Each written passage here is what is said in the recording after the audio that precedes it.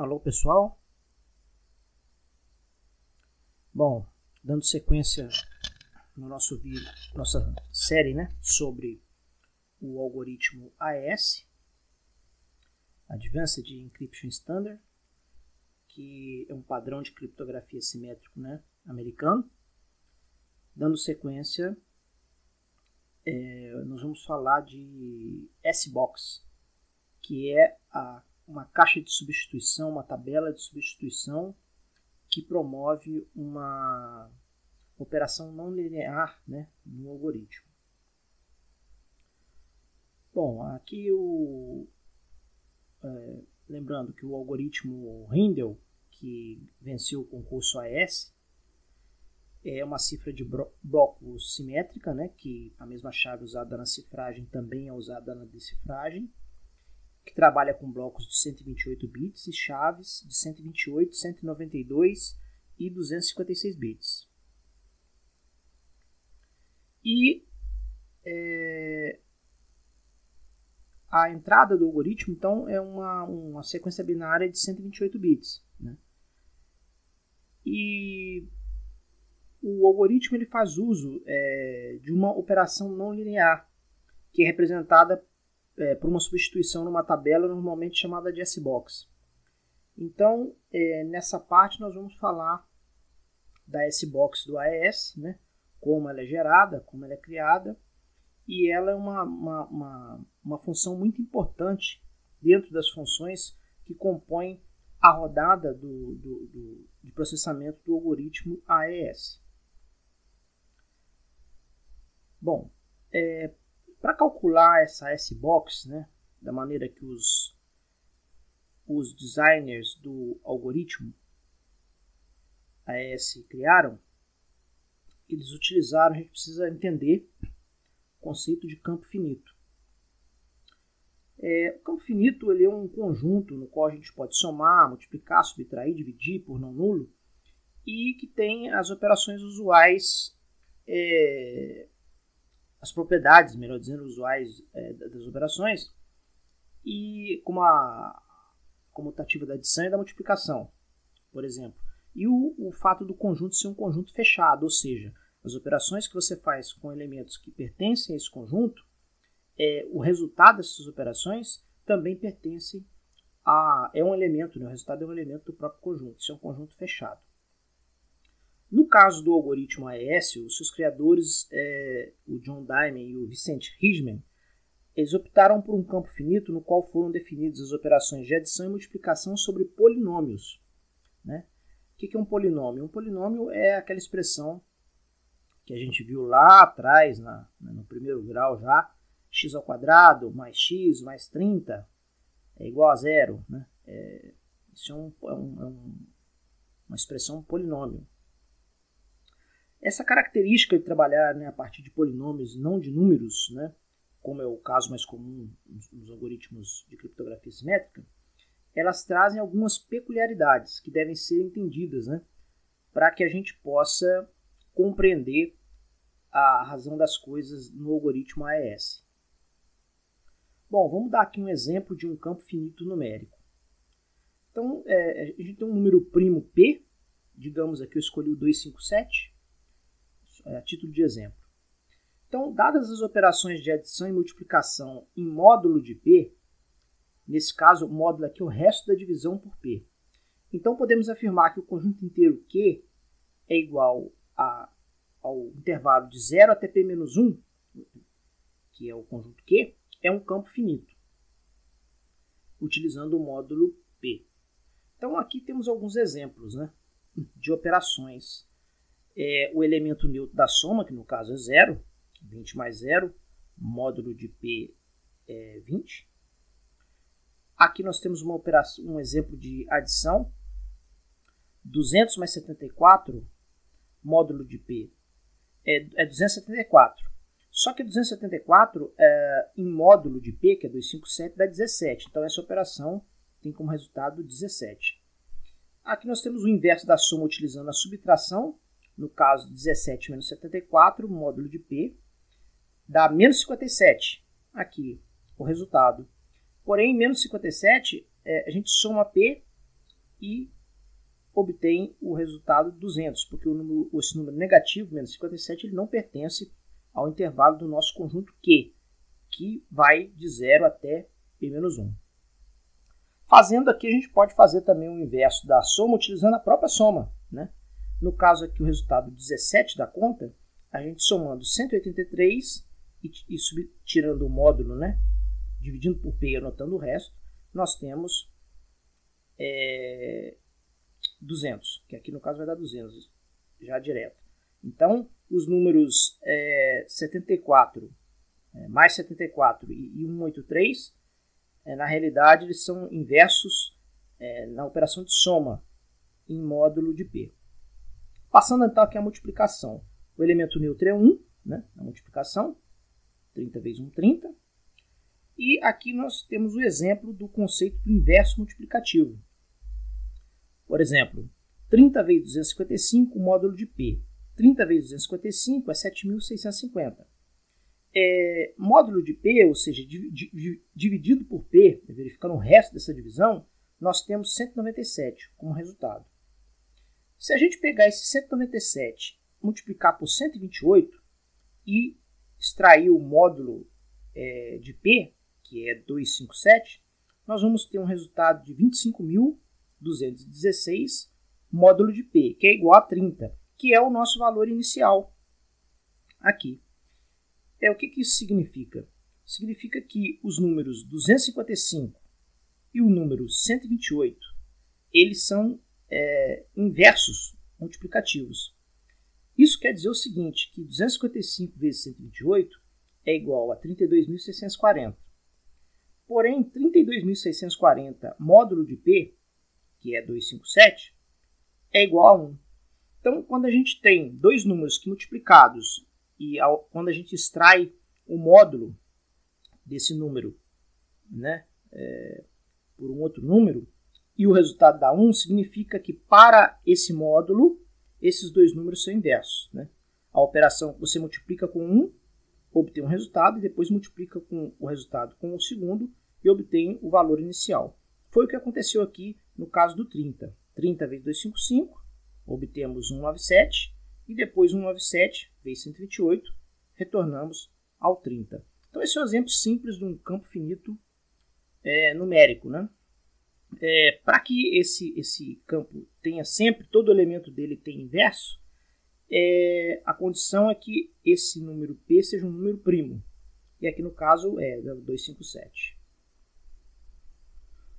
Bom, é, no caso do AES, é, o, o, campo finito, também chamado de corpo finito, ele é polinomial. É, e o polinômio redutor né, é esse cara aqui. x oitava mais x a quarta mais x ao cubo mais x mais 1. É, as operações são é, reduzidas tendo em vista esse polinômio. E também é importante a gente saber é, a, é, que a notação binária desse polinômio é escrita como essa sequência de, de uns e zeros aqui, na qual a gente transcreve o polinômio para a forma binária. Né? É, um polinômio de oitavo grau ele tem nove termos, tendo em vista que um aqui representa o grau zero. Então, olhando aqui da direita para a esquerda, nós temos um, aqui a gente coloca um, o x a primeira está presente aqui, a gente coloca 1. Não temos o x ao quadrado, então colocamos 0. Temos o x a quarta, não, o x ao cubo, colocamos aqui 1. Também temos o x a quarta, aqui também 1. Não temos o x a elevado a 5 e a sexta potência e a sétima. Então aqui tem três zeros. E o x oitava está aqui como 1. Então a gente pode representar o polinômio na forma binária. É, notem que esse polinômio tem grau 8, portanto tem 9 coeficientes, que podem ser 1 ou 0, porque se trata de um polinômio binário. Né? O, o coeficiente de x ou ele é 1 ou ele é 0. O 0 é os termos aqui que, não, que estão ausentes né? É, na representação aqui. Então, é, ao transcrevermos o polinômio para a forma binária, temos que substituir os coeficientes 1 pelo dígito binário 1 e os termos inexistentes, que seria o coeficiente zero, pelo dígito binário zero. Então, no formato hexadecimal, o polinômio é representado por 0, 1, 1b, e no formato decimal por 283. É, o formato binário aqui a gente vai utilizar bastante. Bom, aqui é, nós temos um, uma, uma curiosidade, né? É que o, o alfabeto do computador, o, o, alfabeto humano básico tem 26 letras, né? Pelo menos o nosso aqui. E o alfabeto do computador ele é composto por 256 letras, os símbolos, né? Tá aí entre aspas, né? numerados de 0 até 255. Então, a, a dúvida que surge é a seguinte: é, ao utilizar o módulo 10001111, é, teremos como resto da divisão, que é justamente o módulo, um número maior que 255, o que não pode acontecer, porque o computador trabalha com esse número limite para representar um byte. Então, como se processa isso?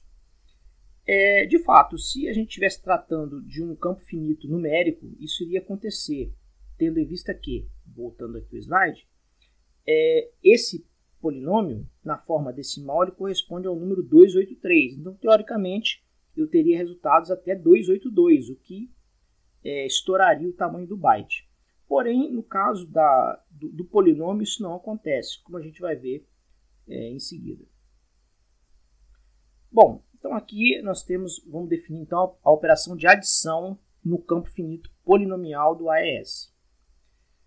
A adição, ela não é a operação de adição, e sim a operação XOR, ou XOR, né, que é a disjunção exclusiva, onde a resposta é 1 se os bits forem diferentes e 0 se forem iguais. Então, a adição é, dos elementos é, na forma como o algoritmo foi concebido é feita através de uma operação de ou exclusivo e é, não da soma. Né? É, é, a, a, operação de adição é traduzida na operação XOR. Então, aqui tem um exemplo de soma de dois polinômios. Transcrevendo para binário, da forma que eu falei do, nos slides anteriores, nós temos aqui o 1, que é o grau 0, está aqui, x1, x2 estão aqui, 1, 1, não temos o terceiro grau, 0. Temos o quarto grau, 1.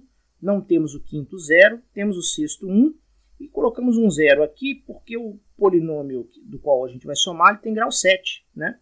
Então ele vai aparecer aqui um zero. Aqui nós temos o grau 7, setado como 1.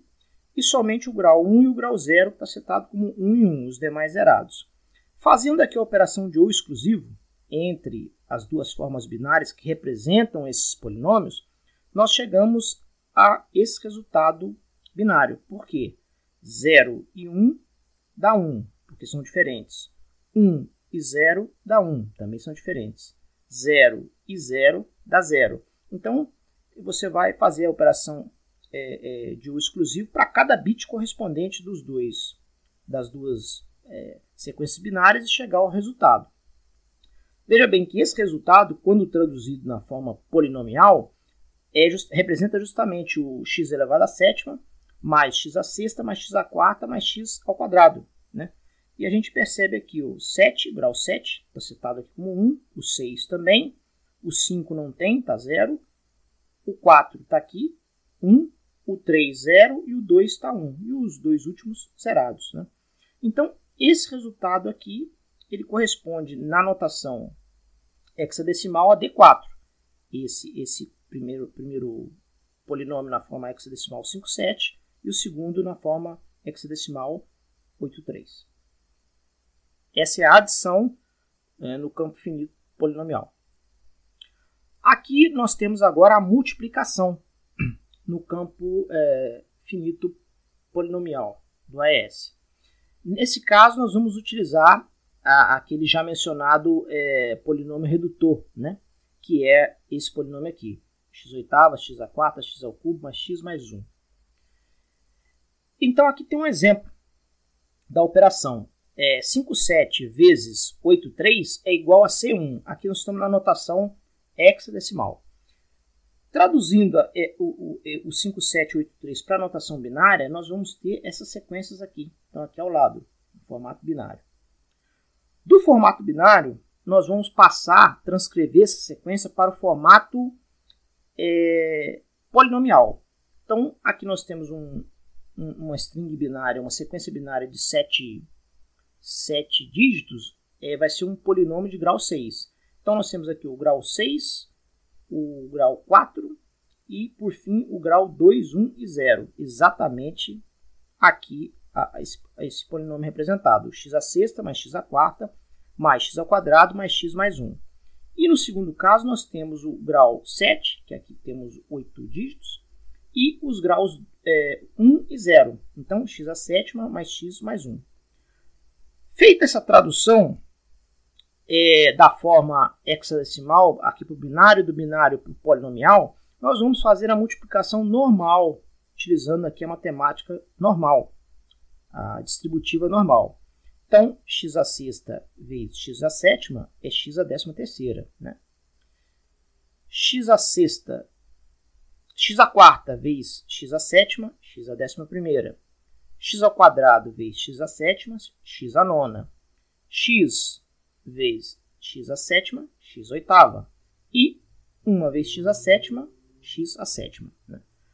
Então, agora multiplicando esse polinômio todo aqui também por x, achamos a segunda parcela e por 1, repetimos ele aqui na terceira parcela. Essa é a multiplicação normal. Feito isso agora, nós vamos somar essas três parcelas para obter o resultado da multiplicação. Só que a soma que foi definida não é a operação de adição numérica, é a operação XOR, que é o, o exclusivo. Né? Para fazer essa operação, eu coloquei aqui uma tabela representando é, esse o, a soma, as três parcelas aqui do, da nossa multiplicação para a gente achar esse resultado. Então aqui, por exemplo, representei aqui do grau 0 até o grau 13, né, que é o máximo que a gente tem aqui. Então aqui na primeira parcela eu tenho 13, 11, 9, 8 e 7. Foram os lugares que eu setei aqui como 1. Né? O resto seria zero. Eu não coloquei o zero para não poluir a visualização da tabela, para ficar mais fácil a visualização. Né? A segunda parcela, a mesma coisa. 7, 5, 3, 2 e 1 são os expoentes de x. Então, no, nas, nas, colunas correspondentes, 7, 5, 3, 2 e 1, eu setei como 1. O resto sub, subentende zero. E a mesma coisa eu fiz para a terceira parcela da nossa multiplicação, setando aqui embaixo 6, 4, 2 e 1, que são e 1 e 0 também, né, que são os, expo, os expoentes de, de x. Bom, aqui agora a gente faz a operação é, de soma, que é traduzida na operação XOR, ou exclusivo. Né? Então, 1 aqui dá 1, aqui é 0, 1, 0, 1, 1, 1 e 1 dá 0, porque na, na operação XOR, temos, é, se temos dois valores iguais, é 0. Para dar 1, tem que ser valores diferentes. Né? Aqui ele está sozinho, ele repete o que está, é 1. 1, 1, 1. Aqui na, no grau 2 nós temos dois valores 1 dá 0. A mesma coisa no grau 1 dá 0. E no grau 0 você tem 1. Então, essa sequência binária aqui em amarelo né, representa esse polinômio aqui, que é x a décima terceira mais x a décima primeira e etc. até chegar aqui no 1. É, aqui nós fizemos a multiplicação, só que agora esse número aqui ele não cabe em um byte, porque o byte é, ele só comporta o, o grau 7, né? Eu não posso ter um grau maior do que 7. Então, para isso, nós vamos utilizar o módulo redutor, que é justamente esse polinômio aqui. Para extrair o módulo e dar a resposta final, que é C1. Nós vamos entender por que, que essa resposta é C1. Então vamos lá. Então está aqui o, o nosso, a nossa multiplicação, né, aquele polinômio da multiplicação, em módulo do polinômio redutor. Esse polinômio redutor aqui ele é fixo. Ele foi escolhido porque ele é um polinômio é, que ele tem a propriedade de ser um polinômio é, que tem inverso. Né? Ele, ele, ele delimita esse campo finito polinomial de modo que é, todos os valores dos bytes multiplicados é, um byte pelo outro vai resultar é, é cada byte tem um inverso multiplicativo, né? É, dentro desse desse módulo aqui. Então é, essa operação aqui ela vai resultar em x a sétima mais x a sexta mais 1. E aqui nós vamos entender o porquê. Nós vamos converter primeiramente, para facilitar, o módulo da forma polinomial para a forma binária. Então eu coloquei aqui os graus de 0 a 8, porque ele tem aqui 8 graus, né? E setei os valores que são os coeficientes são 1, que é o oitavo, o quarto, o terceiro e o primeiro e o grau zero, que está aqui também. E coloquei aqui também, representado aqui na primeira linha, na primeira linha aqui, o valor do nosso eh, da nossa multiplicação que a gente fez na etapa anterior, no slide anterior, que é esse polinômio grande aqui de grau 13. Então, setando aqui 13, 11, 9, 8, 6543, está aqui, e o grau 0. Ok. Para a gente fazer a operação de módulo, é necessário somar, entende-se a soma aqui como operação XOR, com múltiplos do módulo 100011011. Quem é esse, esse, esse módulo? É o módulo redutor na sua forma binária, que é esse cara que está aqui. x oitava, x a quarta, mais x ao cubo, mais x mais 1. E a gente tem que fazer, repetir essa operação até que os coeficientes maiores que 7 sejam zerados. Por quê? Porque o byte só comporta um polinômio na sua estrutura que tem até o grau 7. O grau oitavo ele não vai, não vai, não vai caber no byte. Né? Então, é, a nossa operação, estamos multiplicando um byte pelo outro, representado aqui por 57 vezes 83, que vai dar o C1, que é um byte, 8 bits. Então, ele tem que ter no máximo um grau 7. Então, a, o múltiplo do, do, desse polinômio redutor, basta você fazer o deslocamento para a esquerda. Veja bem, 1, 0, 0, 0, 1, 1, 0, 1, 1 eu desloquei ele aqui cinco casas né, para a esquerda. E aí, é, feito isso, eu consegui anular aqui, através dessa operação, o nosso 13 terceiro grau. Né? Consegui anular aqui o nosso nono grau, oitavo, mas ainda ficou o décimo primeiro. Então eu escolhi aqui novamente mais um múltiplo do nosso polinômio redutor, que é essa string binária, desloquei três casas para a esquerda para anular o nosso 11 grau. Né? O nosso nono e oitavo já foram anulados aqui na primeira, na primeira, no primeiro módulo. Então, feito aqui, repetindo novamente o polinômio redutor, né? é para anular esse nosso 11 grau. Então, fazendo aqui a operação de O exclusivo. 1 e 1, 0. Aqui é 0. 1 e 0 dá 1, mas porém com 1 de novo dá 0. Aqui prevalece em 0. 1 e 1 dá 0, por 0 dá 0. 1 e 1, 0, 0, 0. Diferentes dá 1, né? 0 e 0, no caso aqui dá 0, mas aqui tem 1. Aqui no caso vai dar 1. Aqui 0, porque 1 dá 0 e 0, 0. 1 e 0 dá 1, mas com 1 dá 0. Aqui também 1 e 0 dá 1, mas com 1 dá 0, né? 0, 0 e aqui 1 por 0. Né? daria 1, mas por 0 daria 1 novamente. Aonde não tem nada aqui é 0. Eu não coloquei os valores 0 para não poluir a tabela, para ficar mais fácil a visualização. E eu fiz também a operação de uma vez só. O ideal é, seria talvez fazer é, reduzir. Primeiro, é, você faz aqui o, o, polinômio, o polinômio resultado, que é esse de grau 13, pelo primeiro múltiplo do polinômio redutor. Feita essa operação, pega o resultado dela e faz com um outro múltiplo do polinômio redutor, até que todos os graus do polinômio é, final sejam é, menores que 8, como é o caso aqui. Está tudo zerado do 8 para cima. E do 7 para baixo está correto. Então esse número 11000001 na notação hexadecimal corresponde a C1, que é o resultado da nossa operação.